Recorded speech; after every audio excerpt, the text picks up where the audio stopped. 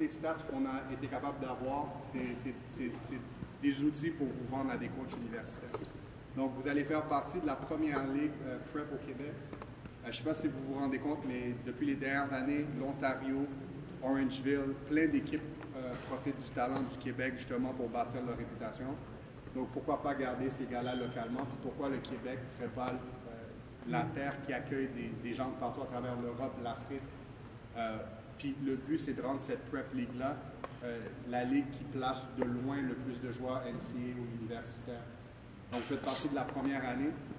Vous avez un groupe, de programmes, je pense, qui, travaillent ensemble comme aucun programme n'a jamais travaillé ensemble.